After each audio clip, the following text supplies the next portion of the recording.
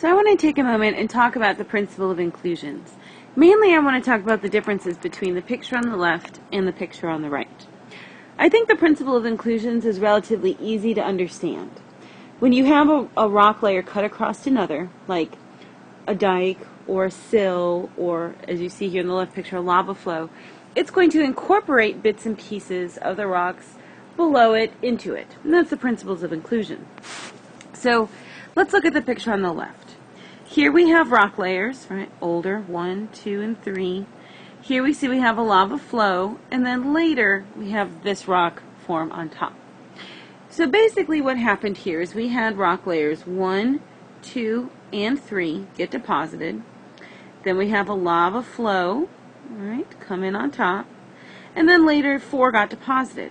But before four got deposited, what we see is that we had maybe some rain beat down on this material or the wind whip across it, and the top part of this lava flow started to break up.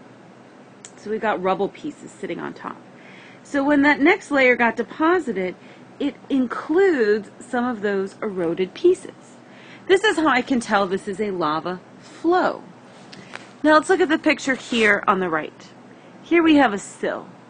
If you remember, a sill forms, so again here we have rocks, one, two, three, and four. So let's talk about how this forms. So here I would have my four rocks. Right, one, two, three, and four. So these would get deposited, and then remember what a sill does is it comes and intrudes into in between these layers. So unlike the lava flow that formed on the surface, the sill goes into, it injects itself in between those two layers. So when it injected itself in between those two layers, it's going to rip up bits and pieces of 4 and include it in, and bits and pieces of the top of 3 and include it in. So that's why we see these bits and pieces from 4 and these bits and pieces of 3.